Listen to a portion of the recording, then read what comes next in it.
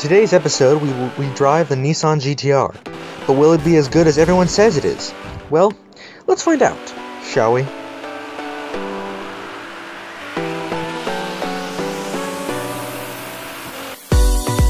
Our first test is a simple braking test. The car will deploy the brakes when its back wheels touch the line. The goal is to not hit the parked Dacia Duster. Let's see how the GTR does.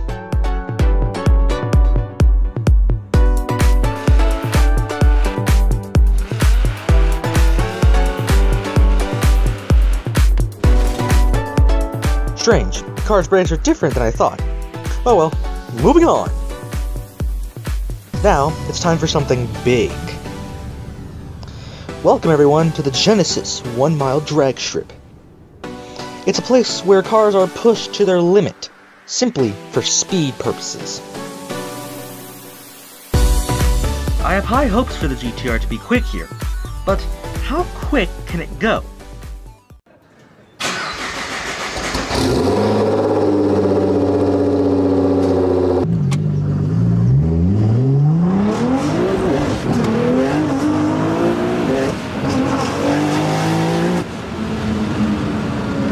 That's 171 miles per hour.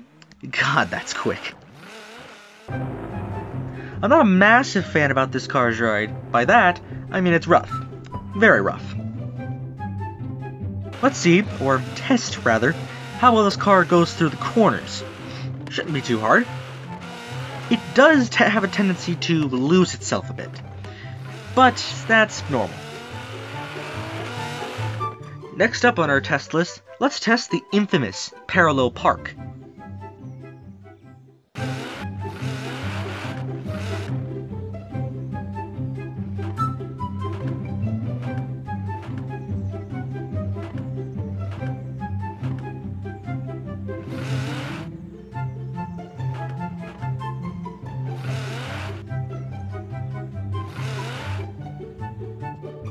And that is a success on the parallel park. Since this car's ride is really low, can it, can it get down a small hill without scratching the front end?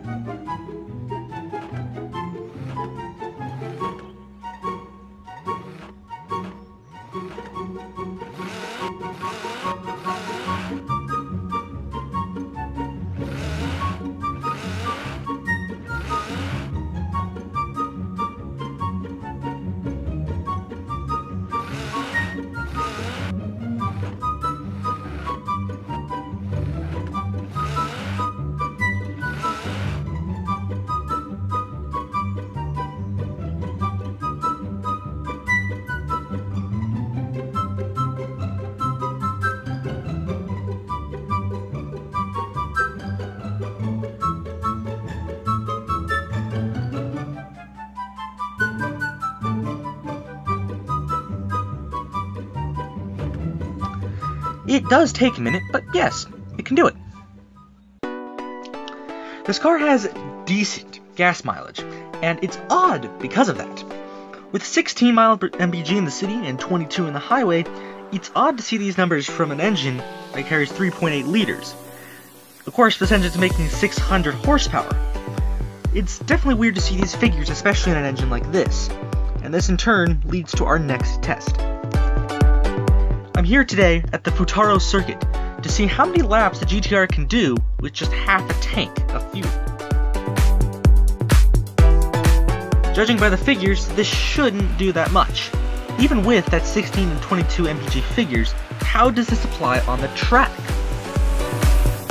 I should mention, now that I think about it, the tarmac here at the track is made specifically with the idea of testing a vehicle's cornering, so sliding is definitely going to happen quite a lot.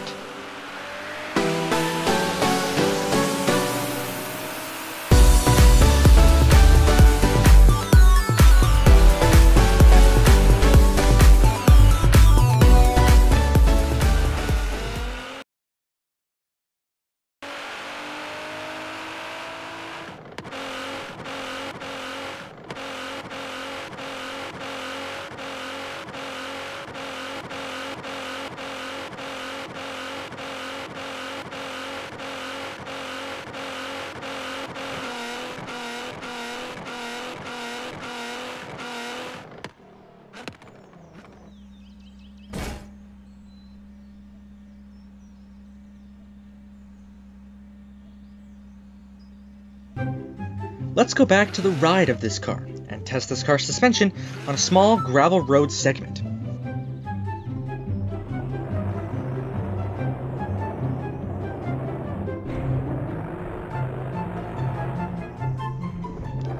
It definitely rides, well, it rides pretty bad. This is most likely due to its modified suspension setup that was modified from the factory.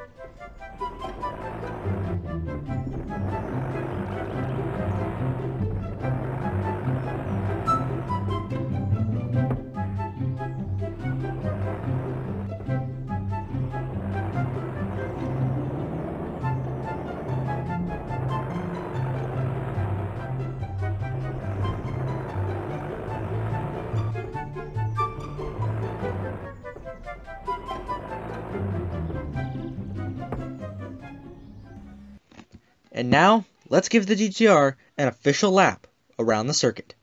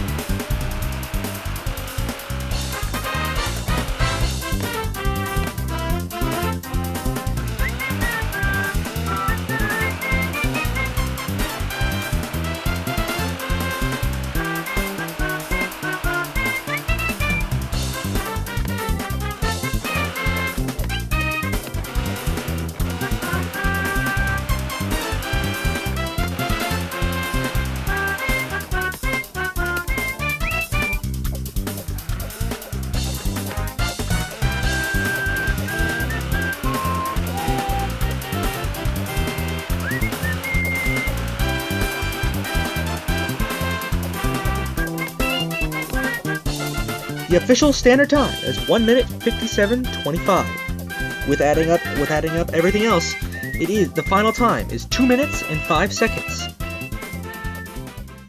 And on that awesome note, it's time to end. Thank you so much for watching. Good night.